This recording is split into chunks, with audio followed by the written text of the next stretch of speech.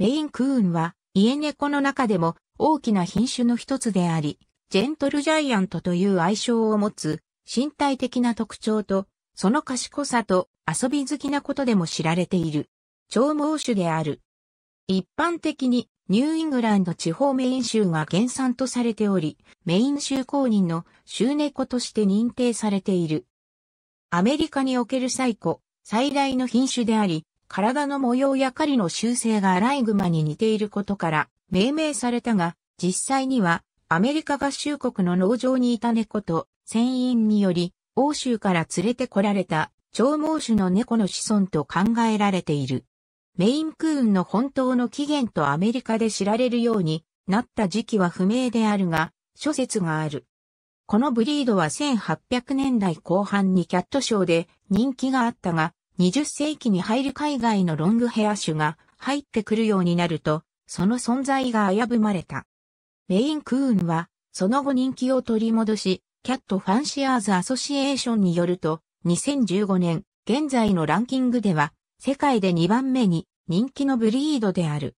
1895年5月8日にアメリカ初のキャットショーで優勝したメインクーン、構成メインクーンの起源は、奇抜とも思われる逸話を含め、諸説がある。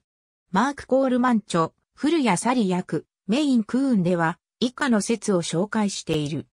カナダ地方の野生猫をルーツとする説昔は、その風貌から土着猫とアライグマの根血であると考えられており、メイン州のアライグマを意味するメインクーンと名付けられたとする説。クーン船長の連れてきた猫とする説ペルシャ系あるいはアンゴラ系の猫がクーン船長によって中国から北アメリカ東部沿海地方に連れてこられ、この猫を始祖とする説。マリー・アントワネットのアメリカ亡命計画をルーツとする説スティーブン・クロ船長の助力により、メイン州、ウィスカセットへの亡命を計画し、住まいまで用意したが実現されず、片身にと船長が連れてきた王妃がめでていたアンゴラ種の猫を始祖とする説。そして、バイキングの船猫であったスコーガットと風貌が似ていることから契約中に逃亡する船員と同じく逃げ出した猫と土着の猫との交配により誕生したとする説を最も有力としている。雑種とメインクーンの比較メインクーンの顔メインクーンの横顔特徴的な大きな耳、 lynx tips、tuft、gentle curve が見られるメインクーンとノルウェージャンフォレストキャットを掛け合わせたメス猫、6歳。白髪のメインクーンメインクーンは、特にその大きな骨格と三角形の体型、長い毛並みで知られ、色は多彩でその知能と優しい性格も特徴とされる。肥大型心筋症や股関節異形成症の健康面での問題を持つブリードとされているが、これらは検査により遺伝子異常を発見し、発症しうるかを確認することが可能である。メインクーンの耳は大きく、根元が幅広、頭の高い位置にあり、中にタフトが豊富につき、先端に lynx tips がある。メインクーンに特徴的な lynx tips によって大山猫のような風貌を得ている。メインクーンの洞毛は長く、2004年には17.4センチメートルのホラ毛を持つメインクーンが、2005年には19センチメートルのフレ毛を持つメインクーンが、最長のホラ毛を持つ猫としてギネスに登録された。頭の形はどちらかというと長めだが、虚勢されていないオスが成長するとエラが張るようになる。顎は頑丈で、マズルはしっかりとした四角形。横顔には鼻筋にジェントルカーブと呼ばれる緩やかで流線的なくぼみが見られる。メインクーンと似ているノルウェージャンフォレストキャットと区別する特徴の一つとしてジェントルカーブの有無がある。メインクーンのボディは筋肉質で胸幅が広く、どの部分をとっても華奢な部分がなく、がっしりとしている。胴は長めで、横から見ると長方形に見える。全体的に筋性が取れていて、極端な特徴はない。体長は1メートルを超える場合もあり2010年に123センチメートルが最も体長の長い猫としてギネスに記録されている。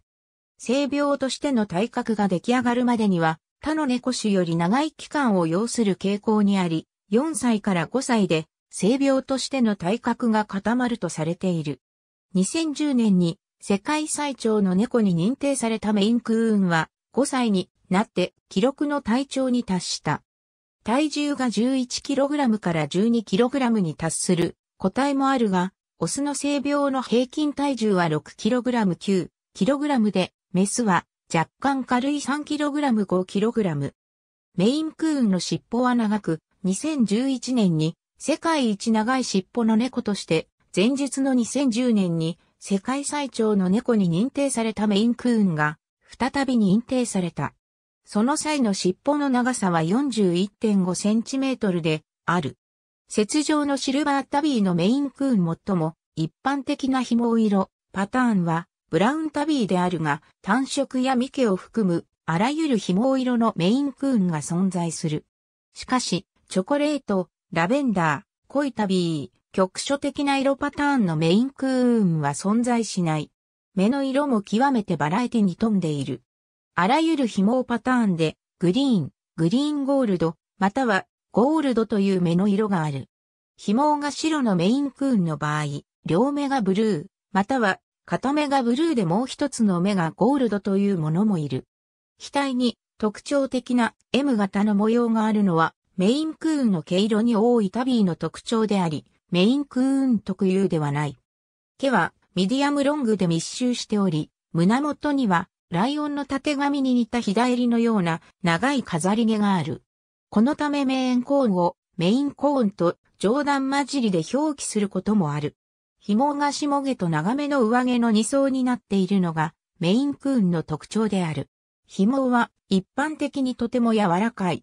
パンタロンやズボンなどと呼ばれる足の後ろ側にある長い毛と指の間にある長い毛のおかげで寒さの中でも体温を保つことができる。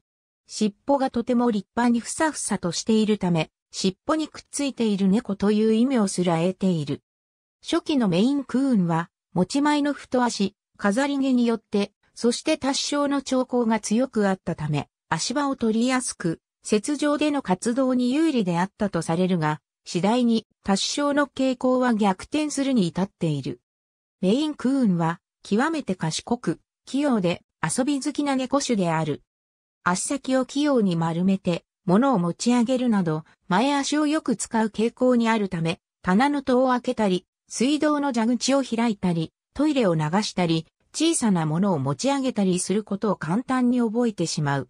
中には、直接ボールに顔を近づけるのではなく、前足を使って餌や水を飲むメインクーンも見受けられる。メインクーンは平均以上の知能を持っているため、トレーニングしやすい猫種の一つであると言われている。また、喉を鳴らすような鳴き声と、ニャーという猫の鳴き声を組み合わせたような声を出すことでも知られており、嬉しい時や驚いた時に、このような声を出す傾向にあるようだ。他の猫種に比べ、メインクーンのニャーという鳴き声は高めである。仲間の猫や人間と一緒に食事をすることを好み、単独で餌を食べるのは珍しい。メインクーンは飼い主に甘えて膝の上に乗ってくるタイプの猫種ではないと言われてはいるが、これは個体により異なり、中には飼い主の膝の上が大好きというメインクーンもいる。飼い主の膝の上でうたた寝するメインクーン水の中に入ってというわけではないが、水で遊ぶことを好むメインクーンもいる。おもちゃを水に浸してから遊んだり、水のボールをひっくり返したりすることがある。また、前足を使って器用に水をすくって飲むメインクーンもいる。犬のような行動をするメインクーンもいる。物を取ってくるというのは好きなゲームの一つである。犬がそうするようにボールを取ってきて飼い主の足元に置き、またボールを投げてもらうのを待つという遊びである。郵便物を取りに行ったり、犬の散歩に行ったりなど、日々の生活の中で飼い主について回ることがあり、屋外にいる時でさえ、飼い主に呼ばれると戻ってくることもある。美しい白髪のメインクーンメインクーンは、一般的には、ニューイングランドの気候で生活できるように丈夫で、健康なブリードである。一番危険な病気は、肥大型心筋症で、メインクーンの場合は優性遺伝で遺伝する。特に中年期から老年期の猫やオス猫に発症しやすいとされている。肥大型心筋症は左心室の筋肉が肥大し硬くなる心筋の病気で、猫の場合、心不全、大動脈血栓塞栓症による後足の麻痺、突然死などの原因となる。1歳から7歳のメンクーンなら、心臓超音波診断で、肥大型心筋症を発見することが可能である。また、この病気を発症する遺伝子異常は遺伝子検査により発見することも可能である。ワシントン州立大学の獣医学部で遺伝子突然変異の検査をしたメインクーンのうち3分の1の猫が陽性であった。心臓ミオシン結合タンパク質 C の遺伝暗号を指定する遺伝子の突然変異がある特定のメインクーンの遺伝系列においては、肥大型心筋症の要因となってきたことが分かっている。もう一つの健康リスクは、脊髄性筋萎縮症で、これもまた遺伝性の病気で、銅や四肢の筋肉を動かす脊髄の神経が消失することにより発生する病気である。症状は通常生後3から4ヶ月で発症し、筋肉の萎縮、筋力の低下、短命などにつながる。この病気を発症する遺伝子も検査により発見することが可能である。股関節の運動障害や関節炎となる異形成症もメインクーンには見られる。動物整形外科財団が2007年にまとめた研究レポートによると1974年1月から2008年12月までに動物をブリードごとに最低格100のケースを調査したうち、メインクーンは994のケースがあり23.5%を占め27位だった。ちなみに、メインクーンはこのレポートで唯一の猫であった。日例75のメインクーンの子猫多発性脳法人は進行の遅い病気でペルシャまたはペルシャ系のブリードのみに発症するとされていた病気であるがメインクーンも発症する可能性があることがわかっている。症状は大抵7歳頃に出始め、不治の病である。多発性脳胞人は一般的に腎不全を発症する原因となり、また遺伝性のものであるため、病気発症の唯一の防止法は慎重なスクリーニングと検査のみである。ありがとうございます。